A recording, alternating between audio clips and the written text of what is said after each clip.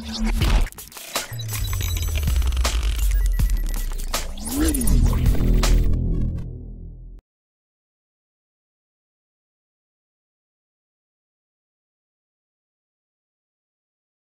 Friends sports பத்தின செய்திகளை உடனுக்குடனா தெரிஞ்சுக்கொள்ள நம்ம தமிழ் கிரிக்கெட் சேனலை சப்ஸ்கிரைப் பண்ணுங்க.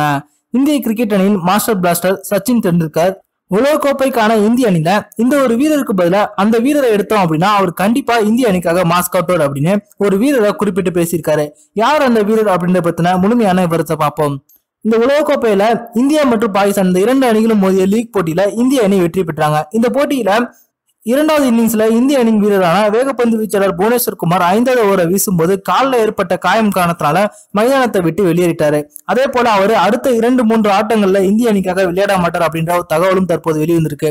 அவருக்கு பதிலாக இந்திய அணியில வேகப்பந்து வீச்சாளரான முகமது ஷமியை எடுக்கலாம் அப்படின்ற ஒரு தகவலும் தற்போது வெளிவந்திருக்கு. தற்போது இது பத்தி பேசியிருக்கிற இந்திய கிரிக்கெட் அணியின் முன்னாள் ஜாம்பவான் சச்சின் டெண்டுல்கர் என்ன சொல்லிருக்காரு அப்படின்னா இந்த உலகக்கோப்பையில இந்திய அணிக்காக முகமது ஷமி ஆட வச்சோம் அப்படின்னா கண்டிப்பா அவரு இங்கிலாந்து மண்ணில் இந்திய அணிக்காக ஒரு செம்மையான பர்ஃபார்மன்ஸை கொடுப்பாரு. என்னை பொறுத்த வரைக்கும் இங்கிலாந்து மண்ணில் புவனேஸ்வர் குமாரை விட முகமது ஷமி தான் ஒரு சிறந்த அனுபவம் வாய்ந்த வேகப்பந்து வீச்சாளர் அப்படின்னு நான் சொல்லுவேன்.